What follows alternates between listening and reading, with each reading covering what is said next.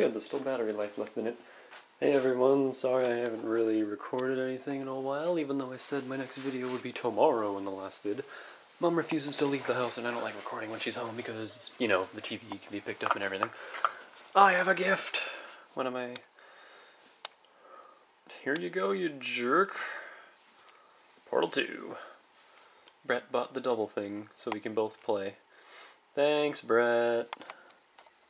Dunk. Dunk. Huzzah. Hi, me.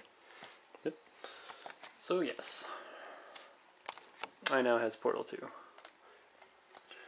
And him and I are going to play it. And, yeah, I shall try to record, but I don't know. Yeah, anyway, that's all I wanted to say with this. See you guys later. Thanks again, Brett. Boop.